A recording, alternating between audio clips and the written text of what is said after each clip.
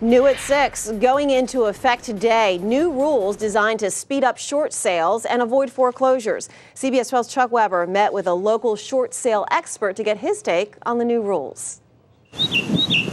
It's a sign of our real estate times, the short sale.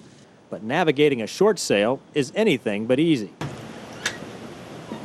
Jared Dalto of Seawinds Realty in West Palm Beach now handles short sales almost exclusively. One of them, this townhome in the Renaissance Commons development of Boynton Beach. An upgraded kitchen with granite countertops. An attractive place, but it's been on the market for almost two years. And seven contracts, seven offers later. Still no sale.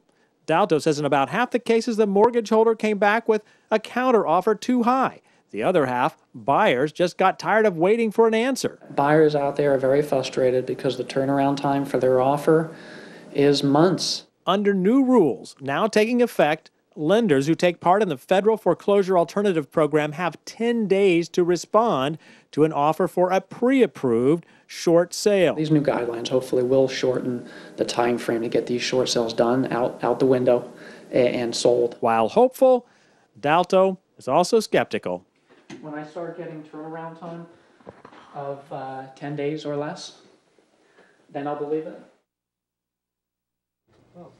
Another provision of those new rules taking effect today if the borrower does not qualify for a mortgage modification, the lender must allow the possibility of a short sale.